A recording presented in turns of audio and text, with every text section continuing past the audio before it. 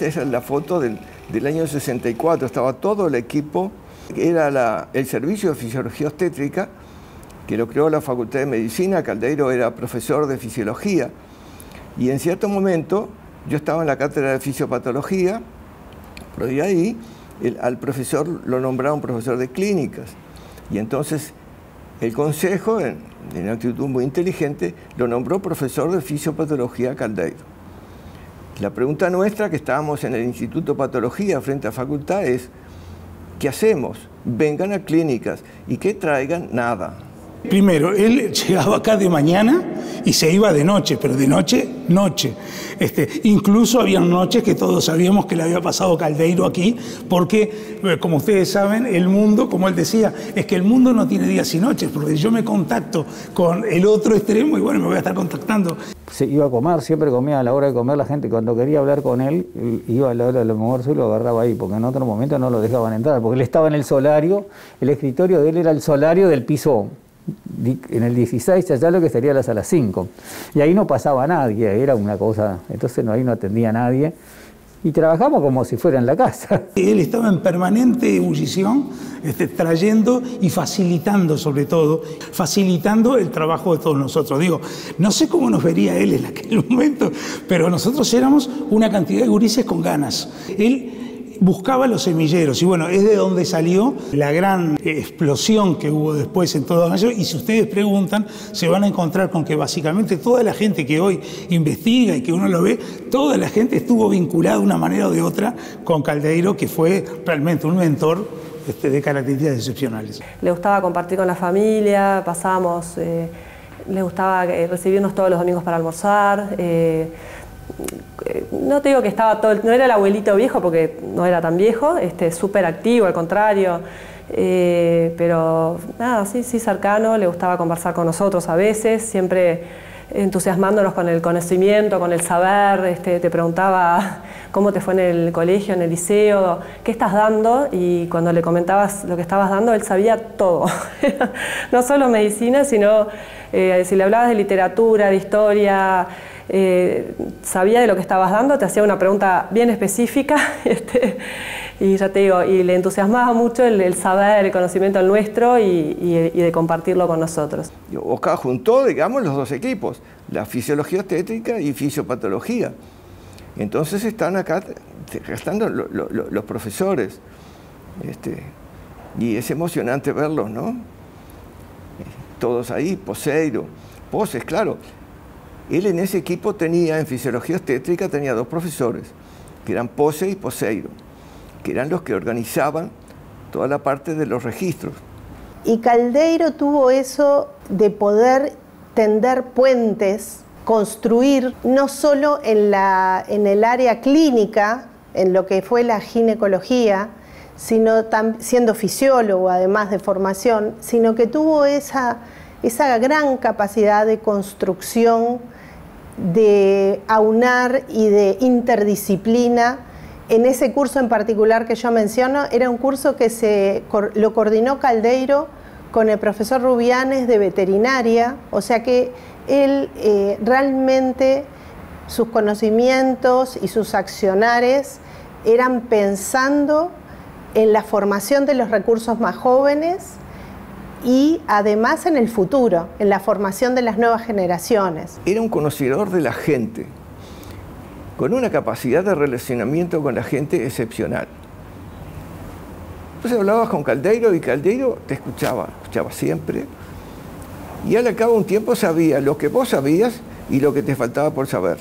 Y siempre tenía, tenía una característica muy importante, y es que siempre te daba algo de las cosas que te faltaban, alguna cosa te ayudaba siempre. Caldeiro era un individuo que no discriminaba las profesiones, tenía el, mismo tratamiento para el individuo que, que, limpiaba el piso, el cual lo vi hacer indicaciones de cómo tenías que hacerlo, con, personas que, que, que manejaban toda la parte de información de él, de los diapositivos y las películas. Caldeiro hizo filmar todos los partos. Y él fue de alguna manera el que empezó a ver que se podía estudiar y que el Uruguay, claro, con más trabajo, pero podía dar aportes a nivel mundo.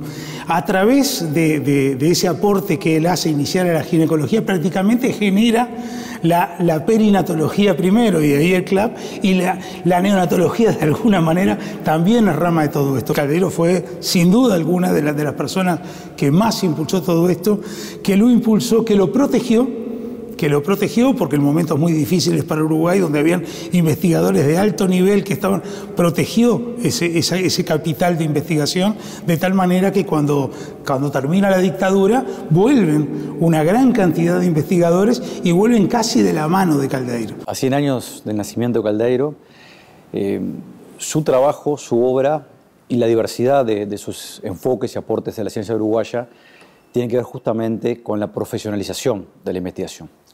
La investigación académica y científica no es una actividad de los ratos libres, no es un hobby, y Caldeiro fue una persona que se dedicó de cuerpo y alma a la investigación y a la generación de conocimiento aplicado y básico simultáneamente. Caldeiro es fundador y a la misma vez lidera el PDCIVA luego de la apertura democrática, es también una búsqueda a ampliar los horizontes de la investigación en Uruguay. Y desde ese lugar creo que, que su aporte eh, más allá de lo sustantivo, vinculado, a la obstetricia y vinculado a todo su trabajo asociado a la creación directa de conocimiento, tiene que ver también con eh, erigir una nueva institucionalidad capaz de sostener la investigación en Uruguay. Es el investigador que está comprometido con lo que está haciendo, con la sociedad, en, lo que, cuánto aporta esa investigación. ¿No? cuánto aportó esa investigación en la sociedad y el compromiso con ese aporte que hay que ponerlo en marcha. Veíamos fotos que estaba con las, con las túnicas blancas, como recibía muchos becarios en la casa, entonces siempre había, no siempre, pero en el almuerzo de domingo, incluso en alguna Navidad, algún extranjero que compartía con nosotros y sabíamos que era porque él desarrollaba una actividad en la medicina muy importante, que sabíamos que era algo con los bebitos, con el embarazo. De hecho, mi, mi nacimiento lo asistió él. La vocación personal es un ingrediente imprescindible para tener investigadores e investigadoras insertas en redes internacionales y creando conocimientos de alto nivel. Pero además la vocación personal, porque Caldeiro también tuvo un contexto relativamente adverso en el cual se desarrolló, más allá de lo que vuelvo a decir, como el, desarrollo como el hospital de clínicas o la capacidad que tuvo la Universidad de República de albergar su vocación personal en ese momento, es que la vocación personal sola no basta para tener buenos investigadores. Tiene que haber un contexto institucional de políticas y de estabilidad en las reglas de juego para el desarrollo de la ciencia que habilite esos procesos. Que un hospital investigue es absolutamente necesario y es más, no solo no es un lujo, cuanto más hay que cuidar los recursos, más hay que investigar sobre los procesos asistenciales. En realidad, el que no investiga, el que no tiene capacidad, por tanto, de discernir, es el que gasta más y peor. Creo que eso también es algo que aprendimos en su momento aquí con el propio Caldeiro, realmente. En esa década en el Hospital de Clínicas hubo una revolución en cuanto al nacimiento, porque en aquel momento eh, los niños, una vez que nacían, se separaban de las madres e iban a las nurseries a que las atendieran separados de su familia. Realmente aquí, en esta maternidad, se propulsó un cambio histórico para toda Latinoamérica,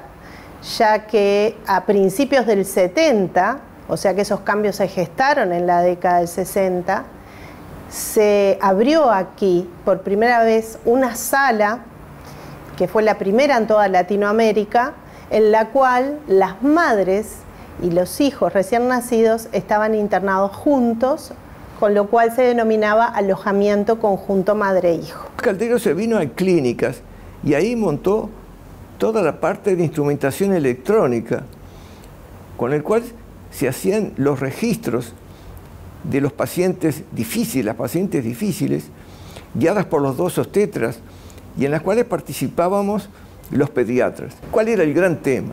La principal causa de parálisis cerebral, es decir, daño cerebral severo, era el sufrimiento fetal, o sea, problemas que aparecían en el parto. Entonces todo el mecanismo era estudiar las causas, la etiología y cómo se podían solucionar. Me parece que el foco está en todo lo que es la, asistencia y la tranquilidad para que ese nacimiento sea más positivo. Tenemos como otras herramientas para poder también ir informando a los padres ¿no? de cómo va el transcurso del trabajo de parto y cómo va a ser ese nacimiento. Creo que eso es este, eh, invaluable, el, hecho de esa tranquilidad, tanto del equipo, porque nosotros tenemos esa herramienta de poder em, brindarle a la mujer la información y también al acompañante. Generó un área de cuidados intensivos neonatales que fue la primera área también que tuvo médico y enfermera las 24 horas para asistir a niños que tuvieran necesidades especiales de cuidado, lo que hoy conocemos como CTI neonatal. Caldeiro fue, para darte una palabra, el maestro. Fue un educador. Para nosotros desde la obstetricia un orgullo para la medicina un ícono y un, investigador impresionante. Caldeiro fue un innovador, un creador de conocimiento desde el Uruguay conectado con el mundo en la frontera. Un, gran abuelo, un gran, yo creo que un gran científico. Caldeiro fue, es, es, el investigador que uno tiene que tomar como modelo, es un modelo, ¿no? Me, me habías hecho también una pregunta que yo te dije que no te la iba a responder. Y era que hubiera pensado Caldeiro, ¿de qué lo recordaron? Entonces yo pensé, yo, Caldeiro tuvo en cierto momento una enfermedad grave, tuvo una diabetes, yo lo vi en un momento muy mal, en ningún momento mencionó nada que tuviera que ver con un obituario. Razón por la cual no te puedo contestar esa pregunta. Y te la doy por contestada.